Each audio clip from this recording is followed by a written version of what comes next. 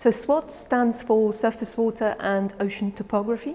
It's a new satellite to measure water levels over inland waters, global oceans and coastal oceans. And what it's going to do is measure all of the water on Earth for the first time in one survey every 21 days. This is really significant because there's no mission that's before measured the oceans and the water on land at the same time. All the instruments we've had to do this in the past have had large gaps in coverage. And with SWOT, we'll have an amazing way of mapping things like floods and droughts in ways that we've just not been able to do before. The real novelty of the, SWOT mission is one, um, the swath, so how much of the Earth's surface it can map, but also the precision to which it can map the, uh, the surface water. Over the ocean, it's going to give us some new information about how the ocean is moving at small scales and how that contributes to transport of climate important properties like heat or nutrients or indeed fresh water. We'll be able to use those data to improve climate models and improve our ability to predict climate into the future. The UK Space Agency has contributed to SWOT by enabling both our industry and our scientists to be part of the mission. We were approached by um, the French Space Agency, CNES, who are building the instrument for the mission.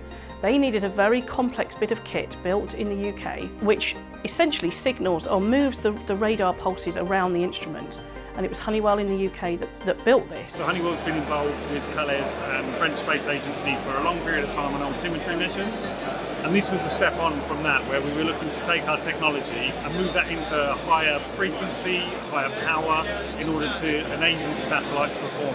CNES and UKSA have collaborated on the SWOT mission since 2013 nearly since the start of the mission. And the other contribution of UKSA in the mission was the participation of the scientists to the mission through the science team. UKSA, of course, is of prime importance to conduct uh, activities in science to prepare for SWOT and beyond. In the UK, we're really fortunate to have some of the world-leading scientists who understand both the, the oceanography, how the, how the ocean moves, and how satellites can be used to measure that. I've been involved with SWOT since 2004, when I was part of the small group that sat around at a table with a blank sheet of paper and started to design what we wanted the mission to look like. We are working in partnership with the University of Bristol and Bangor University. NOC is involved through our project called SWOT UK, which is funded by the Natural Environment Research Council and the UK Space Agency, to look specifically at SWOT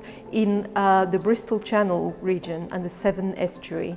So it's an area of particular interest because of its vulnerability to coastal flooding. It's really exciting to be part of such a big, exciting mission. It takes a long, long time to come through to a launch in 2022 to be part of that journey on the policy side, enabling people to really do their, the best, so the best of British engineering and the best of British science, to be part of such a huge global water survey that's so important for climate change and is really going to make a difference to what we understand about our world out.